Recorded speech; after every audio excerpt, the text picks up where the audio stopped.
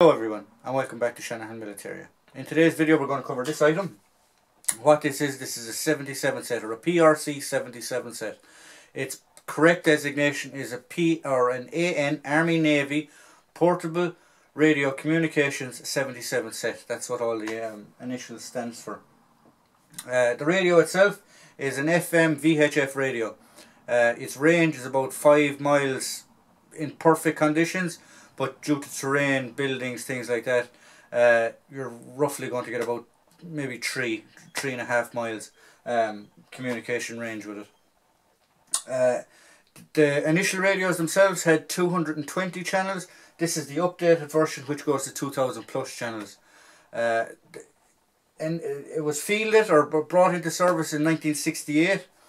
Um, after the valve system in the PRC uh, 25 started to give trouble whereas this is more uh, electronic uh, they remove the valves and the bulbs and things like that in the radios and actually put in microchips so the radio itself has been updated up, or upgraded um, the radio itself consists of four main parts you have the harness which is here at the back you have the aerial you have the handset and you have the radio itself um, the the uh, configuration that I have it in here, it's for a radio operator of the Vietnam area uh, 68, 69 uh, with the smoke grenades on the back.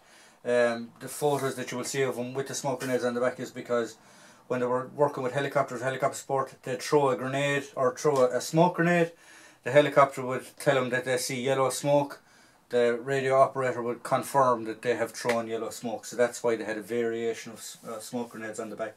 It's also got its signal panel, which is here, just here. Uh, it's an orange signal panel. Uh, the aerials themselves, you had three main types. You had this, which is what they call the wire whip, and it's basically like a measuring tape uh, material type. Um, this here is a gooseneck, and it's it's it's movable, um, so that the the aerial itself doesn't snap. Uh, in here you would have the wire whip, which was 10 foot, I believe.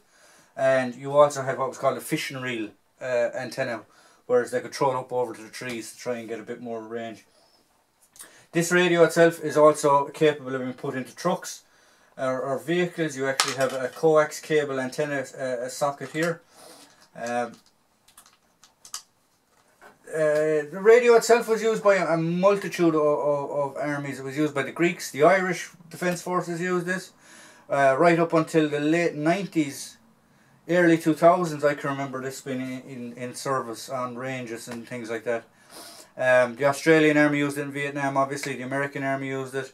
Um, uh, it, it, the German Army, the Bundeswehr, actually used uh, the 77 set and the PRC 6 uh, I actually have a PRC6 that I will cover in a later video. Um, so it, it was it, it, it had a, a, a very big shelf life or a big a very big life in relation to service in the defence forces or in in in armies.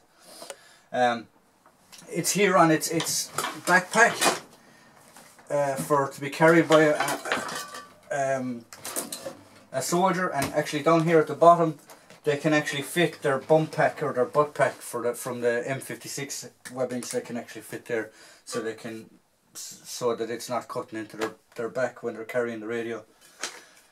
So that's pretty much it. If you like what we provide here at Shanahan Militaria, please like, please subscribe, please hit the notification button and please don't be afraid to leave a comment. Thank you.